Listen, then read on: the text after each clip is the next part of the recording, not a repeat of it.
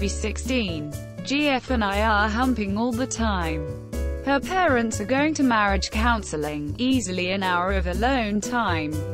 I get to work on the couch with her. Go upstairs, start to fug.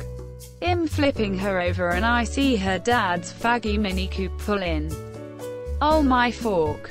All of my clothes are on the couch. And a condom wrapper.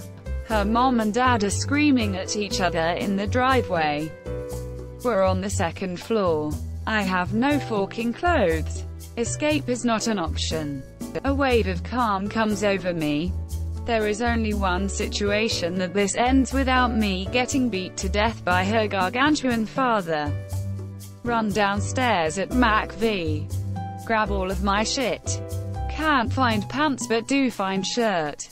Put shirt on like pants. As soon as I hear the door open, I bolt the fork out of there shoving my way past her dad. AF is freaking out. Her parents are super strict. Her dad once told me if he ever caught me he'd knock my teeth out. Sprint like a madman towards my car. Her dad is chasing me. Get in, peel out. Make it home, safely.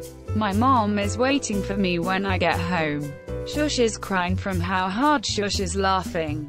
Forced to spend my summer at the library volunteering to retarded children as punishment. GF gets moved to Utah and that was just fine.